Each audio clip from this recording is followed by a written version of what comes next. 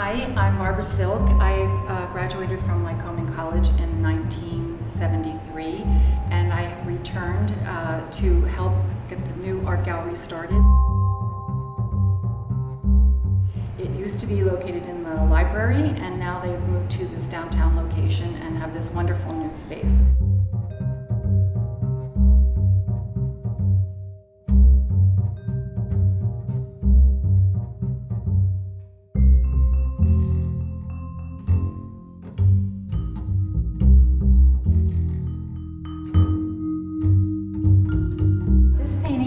By Warren Rohrer. He was a painting teacher at the University of the Arts when I got my master's degree there.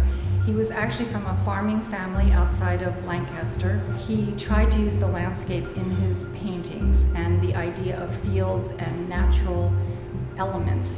And if you come and look on the side, he tried to reveal the different layers as you would see in a field. The, the plowed field might reveal something from another planting, and he would show that on the sides of the canvas.